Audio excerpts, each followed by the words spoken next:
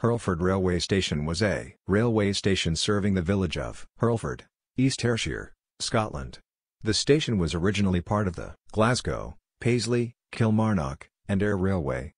The station opened on August 9, 1848 and closed to passengers on March 7, 1955.